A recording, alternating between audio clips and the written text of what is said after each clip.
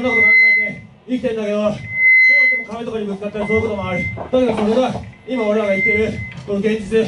その現実から目を背けるんじゃなくて現実に向かってこの生きてる今俺たちが生きてるこの立ってるこのフィールド。こういうこういう世界で生きていかなきゃいけないんだっていうそういう自覚。そういうふうに生きていきたいと思う。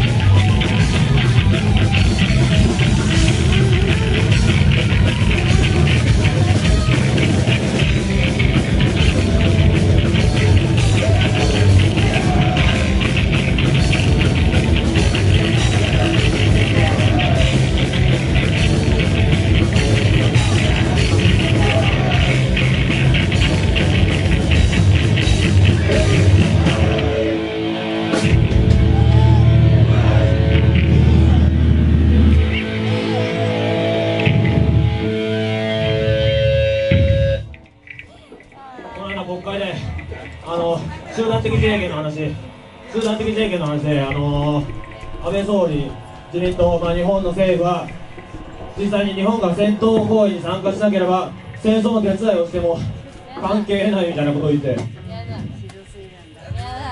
我々はこうやって普通に生活しててあまり戦争のこととか身に染みて感じることってないけど知らない間にぼやぼやしてる間にうちらの税金で税金戦争の手助けをさせられてる。世の中は全然平和じゃない。実はモヤモヤしてる場合じゃない。平和でもないのは平和決してんじゃねえか。平和でもない